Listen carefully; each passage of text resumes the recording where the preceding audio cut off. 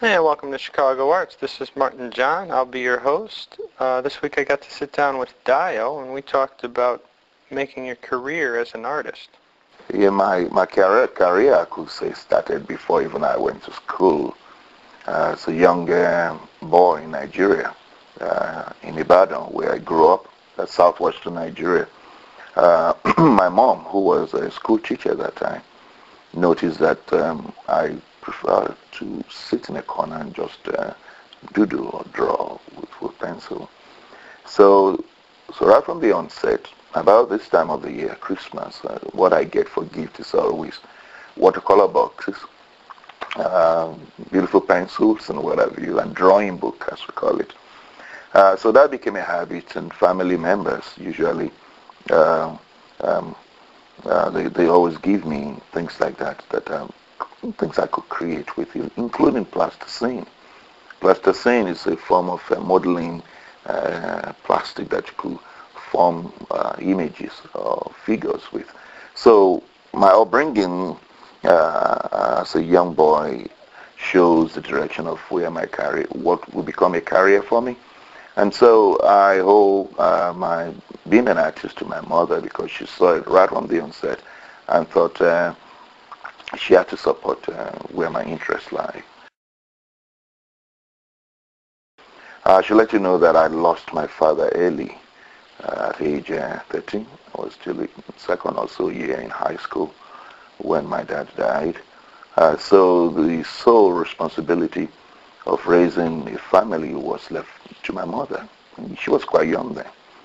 She was um, just 38 years with five kids when she was uh, widowed. And uh, so if you look at my work today, uh, you can't but see most of my subject matter is women. And um, uh, I celebrate the beauty of women. I celebrate the, the sense of nurturing that women have. The last 10 years, since 1997, late 96, I've decided to just do this. There are, of course, a hard time. You don't sell arts like a mechanist every day.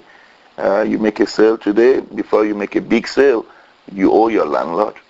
Of course, uh, the framer, you know, still is waiting for some, some some money on the layaway you have on framing, and so so it, it could be considered hard.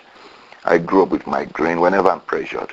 Uh, if I have assignments due, uh, when I was with the agency, you know, it's they want the job done right away. The client needs it tomorrow. So you have sleepless night and you get antsy fin- to finish your work. So you still go through that. But lately I've decided uh, that I would just walk rather than wait for a date to show or wait for a gallery uh, uh, to give me the time for a solo show or even what we all look for, a nice review in the newspaper or magazine or the ultimate, a museum picking my work, it will happen. Whether it happens when I'm alive or when I'm gone, it will happen. For every artist that works judiciously, religiously, any artist that works so hard every day without thinking, oh, I'm working, I'm doing this with somebody in mind to come and buy it. The point is at some point somebody will buy it. For every work of art you, that you produce, it will eventually have a owner.